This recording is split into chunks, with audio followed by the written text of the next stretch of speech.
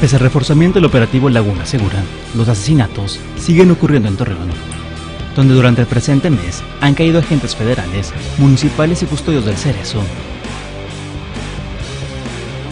En lo que va de agosto, se han contabilizado 41 homicidios dolosos y son ya 490 los registrados este año.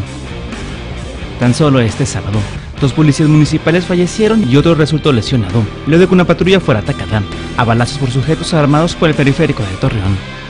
El hecho ocurrió a la altura del tanque del auto.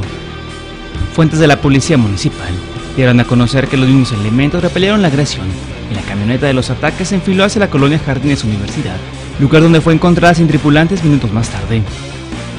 Ese mismo día, pero a las 18.10 horas, se activó nuevamente el código rojo en la colonia Nueva California, tras el asesinato de cuatro personas por parte de un grupo armado en las calles Cabo San Lucas y de Todos los Santos. De acuerdo a las primeras investigaciones de la Procuraduría General de Justicia, los agresores llegaron en dos vehículos hasta la finca número 30, lugar donde se encontraban los hoyoxisos ingiriendo bebidas embriagantes. Tres murieron de manera inmediata, dos en el exterior de la finca y otro en el interior. La cuarta víctima alcanzó a correr, pero fue alcanzada por los disparos. En el lugar se aseguraron 37 casquillos percutidos.